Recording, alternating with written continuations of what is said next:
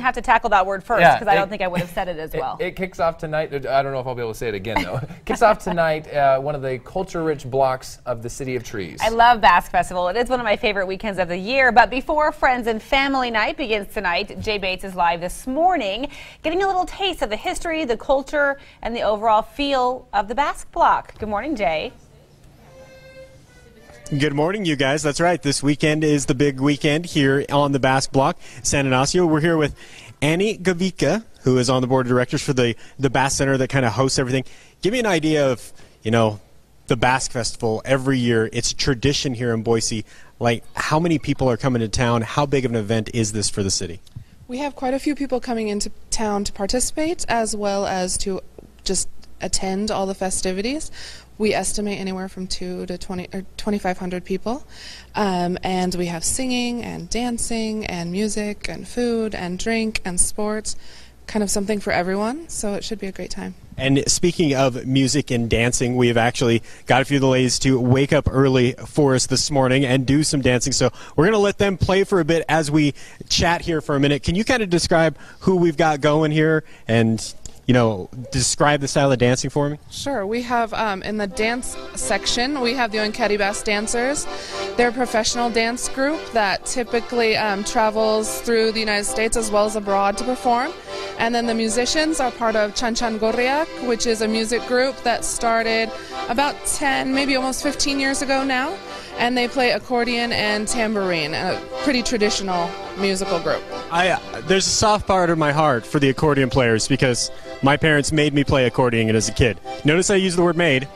Well, we might have to get you to play one again. I- that's probably going to happen. I don't know if the dancing's going to happen. That looks way too athletic for me. I will just say at this part of the morning. But we're going to have much more from the Basque Block coming up all throughout the morning. We'll talk a little bit about more about food, history, and so much more. It's all coming up later on Good Morning Idaho. There was literally clapping of uh, excited clapping in here when we found out Jay might play the accordion we for us. We really want you to, Jay. Should happen. All right, and just so you know, we have a look back at our adventures from the Basque Block. It was from about a year ago, Mm-hmm. uh, around about this time, heading into San Inazio. It's posted on our Facebook page, so just go ahead and like Good Morning Idaho. And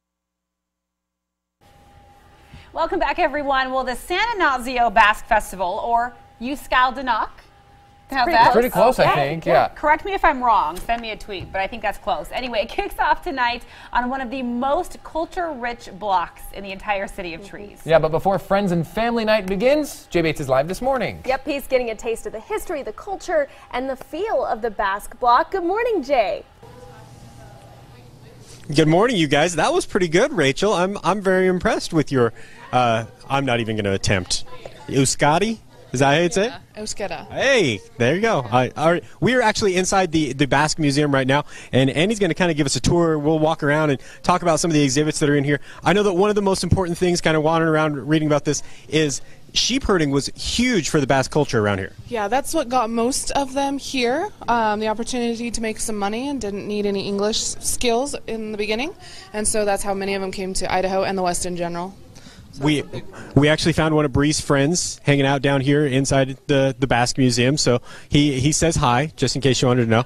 Uh, I see the trailer. I still see the, the trailers all around Idaho, everywhere. It seems to still be a, a big part of the culture.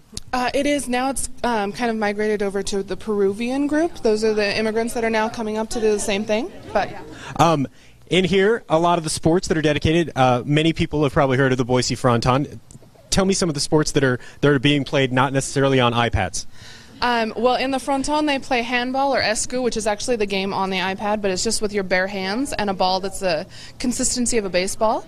Or um, pala, they have with a wooden paddle and a rubber ball. And then the more common, well known maybe, is uh, jai alai with a basket attached to the end of your hand. And it's a very, very fast game and a little more dangerous. But those are the three main ones that you'd see in a court like these. Anybody who's ever watched Miami Vice knows what jai alai is. Exactly. All right, there's a lot more that we're going to go through.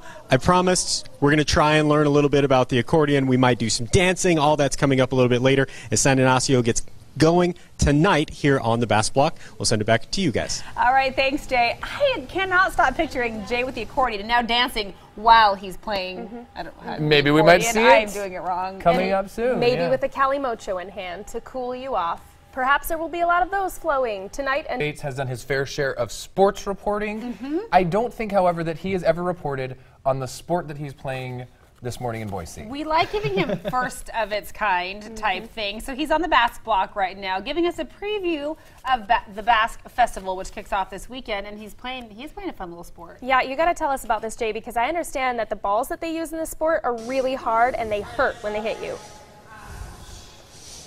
Yeah, hopefully we won't find out firsthand how hard the ball is when it hits you. But I will say that this looks a lot like the paddle that was hanging in Rachel's principal's office. So, all right. Uh, I am here with Jacqueline? and Jill. Jacqueline Jill. Wait. I'll just let you write the jokes at home. All right, they're going to teach me how to play pala here, which I've already attempted and is really kind of hard. So let's start with Jacqueline. Tell me where we got to start from. You have to serve from behind the seven. So Wait, so we got to go way back here, and then there's a wall way up there. So AJ, look at how far they want me to hit this ball. Look at that. you can use the kids' ball if you want to. I can use the kids' ball. Oh, they're they're making me feel better. All right, and then once that happens, Jill, then what do I do? Okay, so once you serve it, then it's more of so a rally back and forth. So you can, it has to land behind the seven, and then you can just rally back and forth. So in a way, it's racquetball, only a lot harder Yes, and better.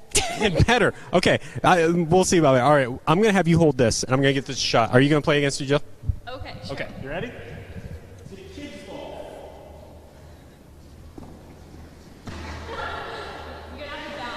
I look like Spencer at the golf course.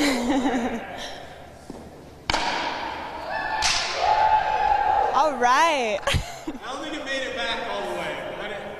You, you can do play-by-play of my awesome pala skills here. What do you think so far? Okay, so a good attempt from the rookie player.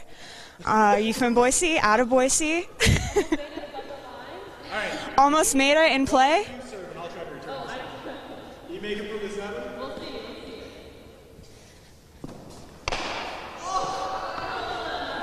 And that's, folks, is why we stick to dancing.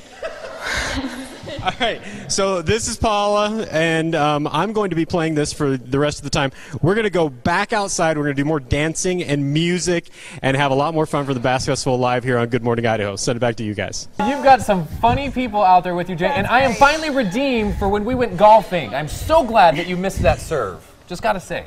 Thanks. Oh, did Jay. he miss? I didn't even notice. Did he miss? I think that was the only thing I did notice was that Jay missed the first time. So This happens. It's hard. That ball did not bounce like I thought it was going to. I mean, they're so hard. It's, It's like, like a a rock. yeah, Jinx. All right, let's take you out to Up to 100. And it really will be beautiful this weekend for whatever you do, especially if you're outside. One thing you can do outside, take in the Basque Festival. It starts today and it runs through Sunday. Yeah, and Jay Bates has been taking in a lot of it really in just a matter of two hours. And the moment we've all been waiting for is to see Jay uh, learn a little bit of music. Good morning, Jay.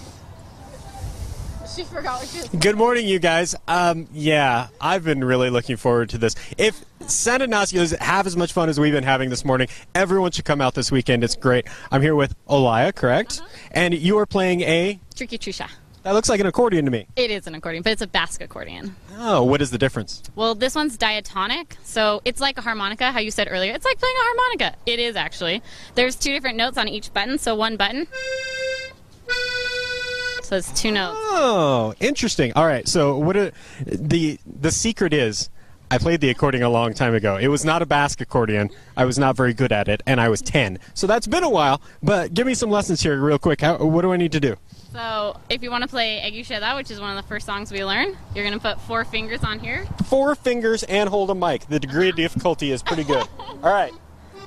Okay, you're going to hit the same note, the one that your middle finger's on, five times in.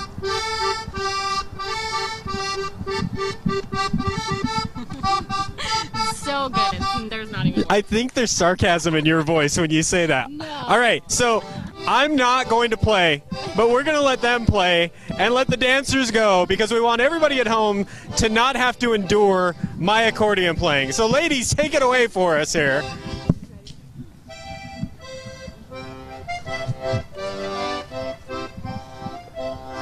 And as we enjoy this, let's ask Annie one more time when do things get going tonight and tomorrow and Sunday? Come down to the Basque Block anytime after about 5:30 this evening, and you'll see um, some sports, have some great food, drink, meet some great people. And then Saturday things kick off at about 11 o'clock on the street. All right. So all weekend long, Basque Block. If you are new to Boise and don't know where that is, that's in downtown on Grove Street. It's pretty easy to find. You will be able to see a lot of your fellow Boiseans hanging out all weekend. We've been having a great time this morning. We'll send it back in to you guys, but not before one last accordion solo just for you guys. Thank you. Literal music to my ears. He makes it Jay look Bates. so good. Television's Debbie, Jay Bates, as one of our producers would say. I, I nice. gotta say, I think that's one of the most fun live shots we've had in a while. That is so. fun. And the actual Basque Festival is really fun. If you have a chance, go down the street dancing that happens uh, Saturday evening. Literally just dance in the streets. Gosh, it's gonna be fun with live music, yeah. All right, at 6:51 right now, we're taking a live look at Boise from our Ford Dealers Tower Cam. We will be right back with our favorite moments of the week after the break. Take a listen to the river.